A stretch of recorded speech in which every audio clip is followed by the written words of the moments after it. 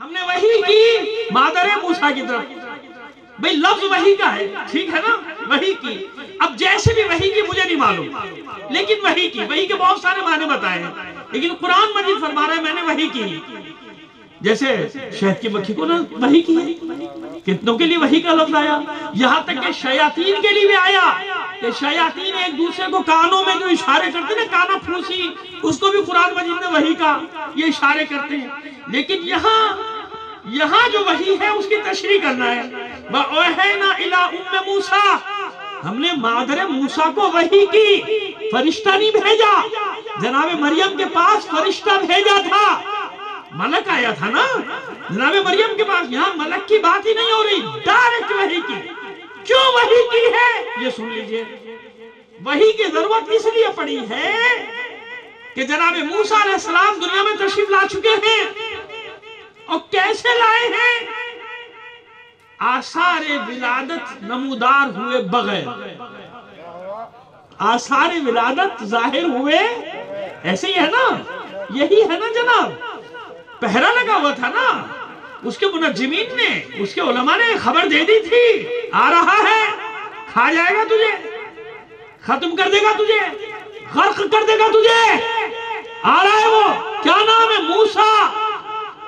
آ رہا ہے موسیٰ حالانکہ ہارون بھی تو پیدا ہو چکے تھے پہلے جناب ہارون پر تو نہیں مارا گیا نہیں قتل کیا گیا ہارون جناب ہارون دس سال بڑے ہیں جناب موسیٰ علیہ السلام سے لیکن بتا دیا تھا کہ اب تیری خیر نہیں ہے اب آ رہا کیا نام ہوگا? موسیٰ کس قوم کا بنی اسرائیل۔ اور بنی اسرائیل کے بھی معززین میں۔ بس یہ نہیں بتا سکے وہ علماء کے گھر کون سا ہے۔ یہ نہیں بتا سکے کہ گھر کون سا ہے۔ یہ بتا دیا۔ اب جناب ہر بنی اسرائیل کے گھر پہ فیرون نے پہلے لگا اچھا آنے والا ہے، میں آنے ہی نہیں دوں گا۔ جب پیدا ہوگا تو آئے گا نا۔ پیدا ہونے سے پہلے مار دو۔ علماء کہہ رہے ہیں اس کے، منجمین کہہ رہے ہیں کہ جناب، آ رہا ہے، وہ خبر دے رہے ہیں۔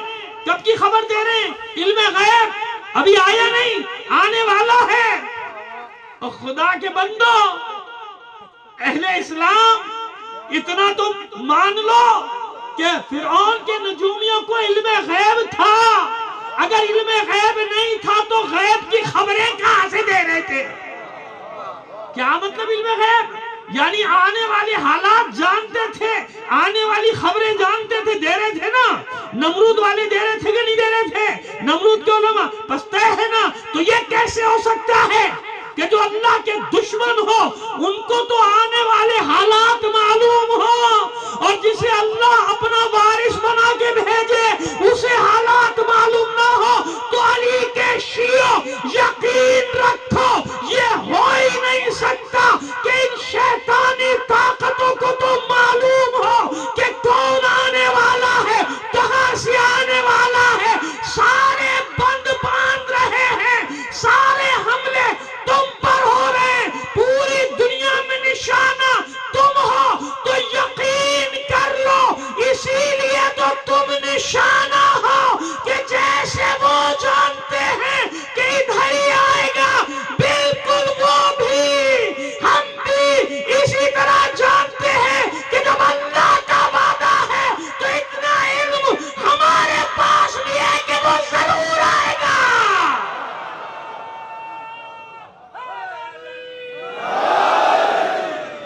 اتنا علم تو ہمیں بھی دے کے گئے ہمارے معصومی کہ آئے گا اور ضرور آئے گا۔